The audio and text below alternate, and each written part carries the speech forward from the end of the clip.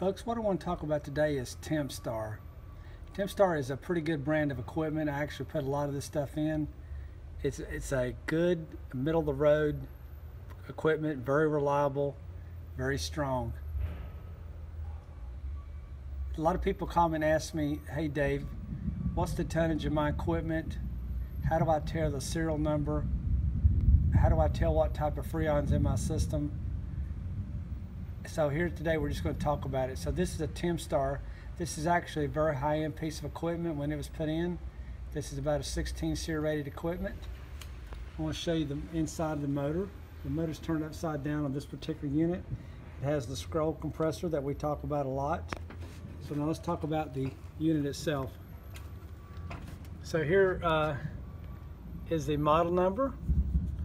And the model number of the equipment is it's a T AC48. See that 48? That 48 means it is a four ton unit. You have 12,000 BTUs per ton. Okay, now let's go down to the serial number.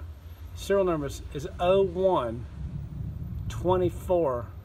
So this particular equipment was made in the 24th week of 2001. So this equipment today is 17, 16 years old. Okay, so let's the voltage is 230 volts. Okay, and that minimum circuit ampacity is 25. So we would put a 30 amp breaker into it. And this particular system is 22, R22, which is the old refrigerant.